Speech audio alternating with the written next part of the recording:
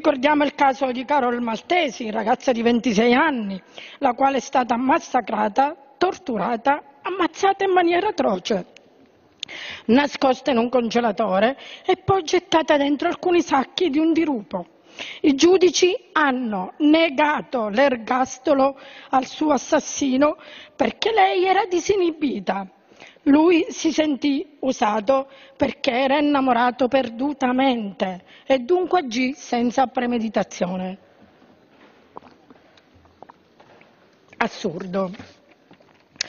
Ricordiamo ancora il caso del collaboratore scolastico a Roma, il quale è stato assolto dall'accusa di violenza sessuale per aver infilato le mani nelle mutande di una studentessa minorenne, perché la molestia è durata solo una manciata di secondi.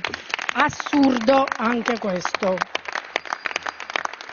Ancora il caso di Mariella Marino, che è stata uccisa dall'ex marito a Troina, nell'Ennese, a colpi di arma da fuoco. L'uomo la minacciava da mesi, continuava a ripeterle ti ammazzo a colpi di pistola, ti sparo. Parole pesanti e devastanti per una donna.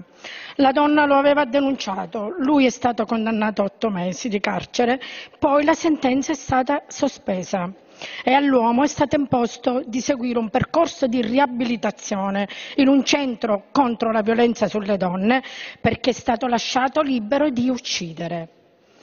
Cos'altro doveva fare quest'uomo perché fosse definitivamente fermato? Che cosa? La violenza di genere è da tanti anni una deriva, sono stati compiuti passi avanti importanti nelle norme a disposizione del nostro Paese, ma bisogna continuamente aggiornare, perfezionare gli strumenti a disposizione. E qui vorrei aggiungere due parole Devo sulla violenza subita dalla diciannovenne di. Palermo, dal branco di sette esseri immondi perché non si possono definire uomini. E mi sono chiesta come madre e come educatrice come questi esseri abbiano potuto solo pensare di commettere questo agghiacciante reato premeditato e con tanta spavalderia. Mi rifiuto di pensare quando io donna dico no, il mio no deve essere frainteso. Quando una donna dice no, dice basta. Tu uomo ti devi fermare se ti ritieni tale. Non esistono attenuanti.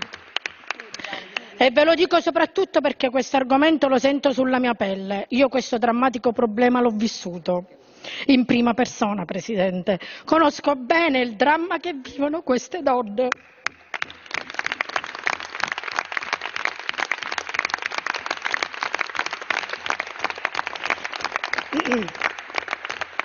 E concludo, Presidente, con questo disegno di legge la maggioranza non toglie nulla al codice rosso, ma aggiunge ben poco. Se pensate che sia questo il modo di contrastare la violenza sulle donne, si è fuori strada.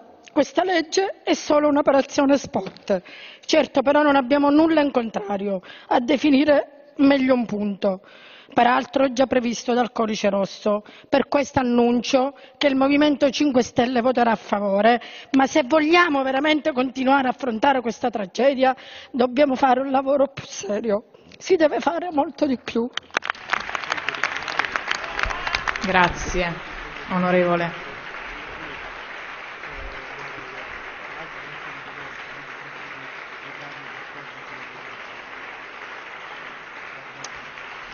Grazie, onorevole.